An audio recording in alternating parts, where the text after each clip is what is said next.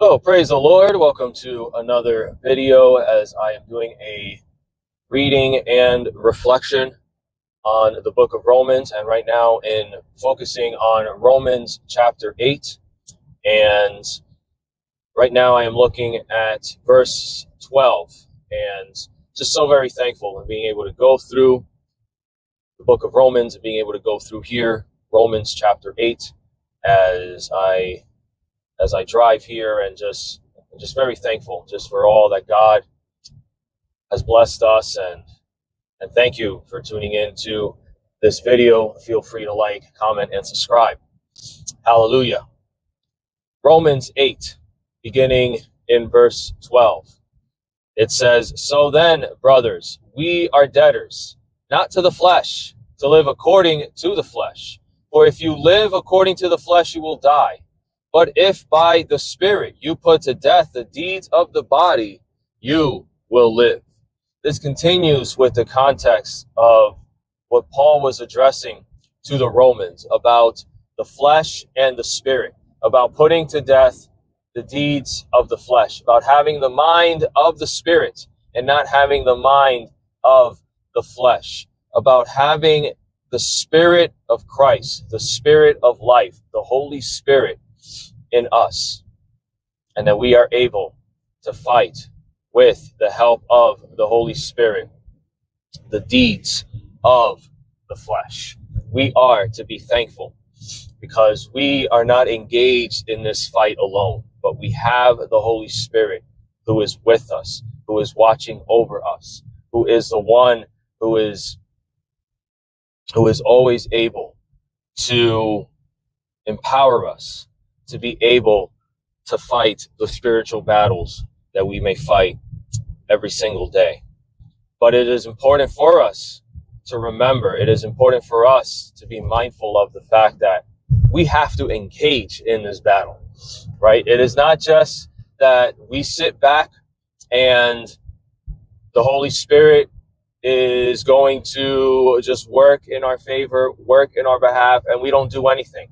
We don't participate at all. We don't engage. We just sit back and relax and almost act as if, like, you know, the Holy Spirit is our servant and fighting our battles. No, it is our battle. It is my battle to fight. I am the one who has sinned. I am the one who has lived in sin. I am the one who needs redemption. It's not the Holy Spirit who needs redemption. It is me who needs redemption. And I am to engage in this fight, in this spiritual battle. And that when I am tempted, in that when I want to give in to my fleshly desires, whatever it may be, that I have to fight that and I have to go to the Lord and I have to fight this battle with God. Not that I fight it on my own and not that I just sit back and relax and just allow God to do everything for me. That's not how it works. We have to engage in this spiritual battle. We have to fight in this spiritual battle because we can be just bombarded with temptations each and every single day. But as it says here, as Paul, as he wrote here, for if you live according to the flesh, you will die. But if by the Spirit you put to death the deeds of the body, and so you will live. And this talks about with putting to death the deeds of the body. You see, our old self died with Christ on the cross. And we live now as a new self, hence being born again. We now live a new life for Christ. We live for Christ now. We do not live for sin. And we are to put to death the deeds of the body. Because just because now we live a new life with Christ, it does not mean that the deeds of the body, that the fleshly desires, that all of that just automatically goes away and disappears and never comes back. As long as we're living in this life here on earth and we deal with our imperfections, we will still have to deal with these battles and with dealing with the deeds of the body. But as it says here, we are to put that to death. That's part of that concept where it says, you know, die daily, right? Where daily we are to pick up our cross and we are to put to death the deeds of the flesh and the deeds of the body, where we live by the Spirit. See, John Owen, a great Puritan author, he talked about, uh, he wrote a book on the mortification of sin.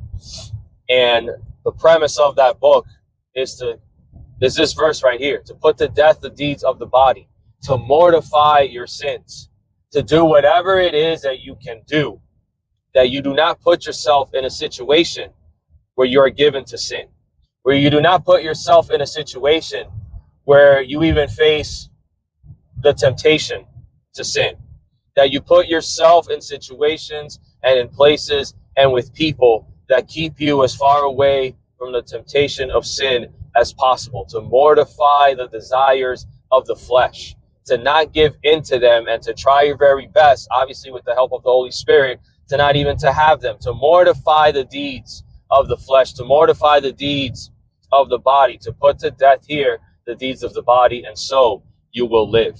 For all who are led by the Spirit of God are sons of God. Amen. For you did not receive a spirit of slavery, right? A spirit that is given into sin, slavery to sin, to fall back into fear. But you have received the spirit of adoption as sons. Hallelujah. By whom we cry, Abba, Father. Praise the Lord. Praise God that we have the Spirit of God who dwells in us and who helps us in knowing and being able to cry out to God, to cry out to our Heavenly Father, to say, Abba, Father. That whatever situation we may find ourselves in, whatever trap we have been caught in, that we are able to cry out to God, that we're able to cry out to our Heavenly Father, that we are able to seek our Heavenly Father at any moment, at any time, from anywhere. That we do not hold on to the burden of sin ourselves, that we do not hold on to the pain that we have ourselves, that we do not hold on to our anxiety and and our fears and all this stuff, all this negativity, that we do not hold on to that ourselves, but that we cry out to the Lord, that we cast our burdens, our, our anxieties unto God, that we cry out, Abba, Father.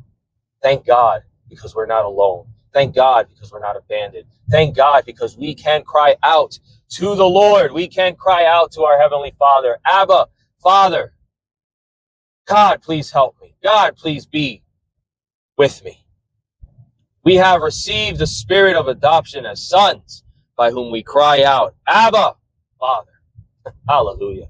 Praise God. The Spirit Himself bears witness with our spirit that we are children of God the Holy Spirit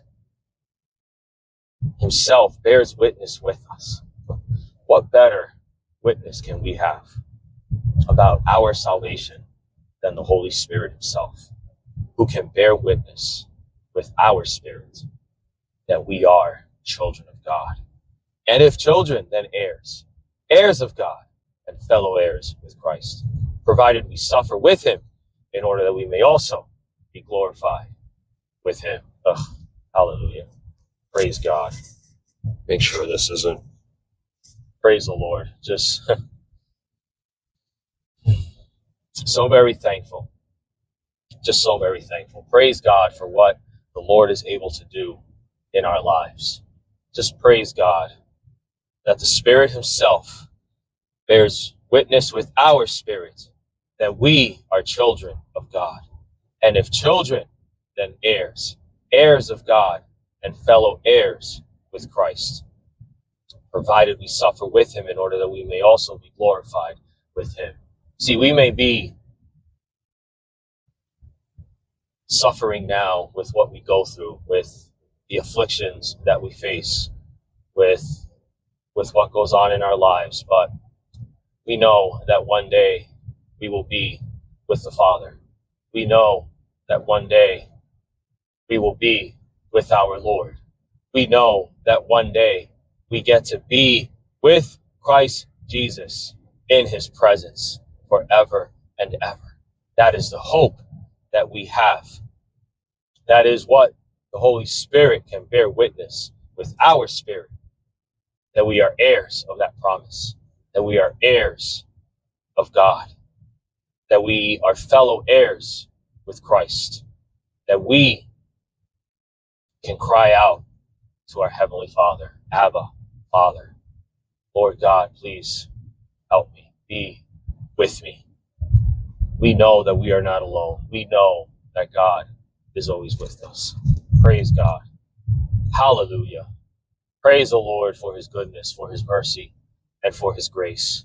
Praise him because we are not just saved, but we are heirs. We are sons and daughters of God. We are adopted as sons and daughters of God, that we are able to cry out to our Heavenly Father, Abba, Father. Hallelujah. That if we have no one to look to, there's no one better to look to than to our Heavenly Father. Those whom we love and those who are around us, there will come a time that they will disappoint us, they will let us down. But praise God because our Heavenly Father, He never lets us down. It's not in His nature. He acts in love, He acts according to His will. And even of things that we may not understand, we'll one day understand. But the Father, He knows the end from the beginning. Everything is in His hands. There's no one better to cry out to than to the Lord our God, than to Yahweh the Most High. Thank you, God. Thank you, Father, for your presence is with us. Thank you for what your Son did on the cross. Thank you that your Spirit is with us and dwells in us, Lord. We thank you and praise you. In Jesus' name, amen. Amen. I pray that this has been a blessing and that this has been uplifting. And thank you for tuning into this video as I am doing these reading and and reflections on the book of Romans and in doing Romans chapter 8 here. Feel free to like, comment, and subscribe and check back for some more videos. Amen. Take care and God bless.